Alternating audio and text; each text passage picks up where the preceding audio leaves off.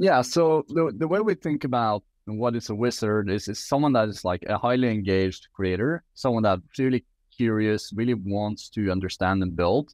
And we think it's like powerful if we can really empower someone that really wants to do this and really wants to understand the data.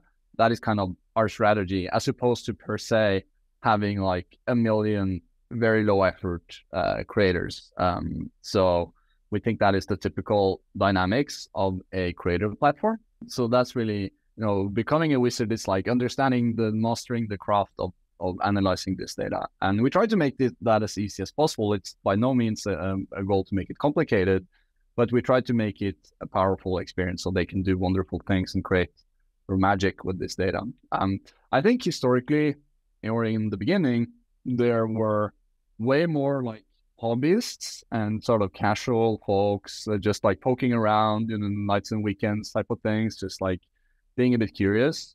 Um, and a few people doing it for for sort of their job, but but it was more like 50 people in the Telegram chat, just like doing some queries and being a bit interested, and some had a crypto job, some not. I think what we're seeing now over time is like there are more, let's say, professional users on Dune that actually work with this data for a living. That's they build a they work for an organization that has a product on chain or interacts with the blockchain in some shape or form, or they're an investor in, in, in this world and they try to really, you know, go deeper and have more sophisticated needs. Um, so what we're also spending a lot of time on these days is more collaboration in terms of team features and the ability for people to come together inside or outside of organizations. It can be formal or, or more casual, but letting people form groups and work together as a team and, and give them more professional tools. Like we're working on API products and there are various ways to, to make it more sophisticated for them.